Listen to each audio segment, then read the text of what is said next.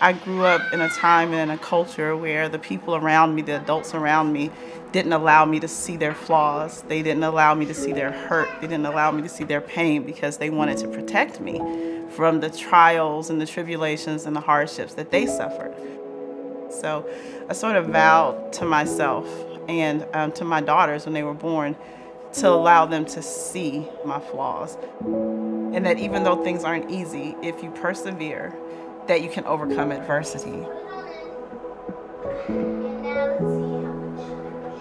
I think it's really important to build resilience in children because it helps them solve problems, it helps them adapt, it helps them deal with the difficulties that the ebbs and flows of life. Um, you know, you know, life is a roller coaster. It's full of ups and downs, and you know, for us, like we don't want to pretend like everything's always perfect.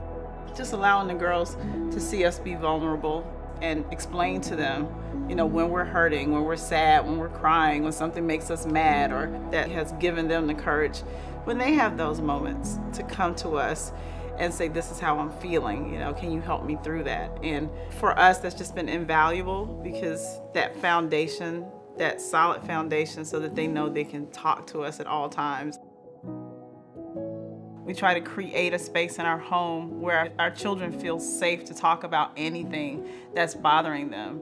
If they're mad at us, we're like, it's, it's okay, you can tell us how you feel. And even if you can't really give voice to how you feel, it's okay just to have that, that feeling and let them know that their feelings are valid, you know, and that we care and that we're here to listen. Story time, story time, let's go story Resilience is something that every parent can do, every family can do. There's no secret to it. It's attainable for everybody.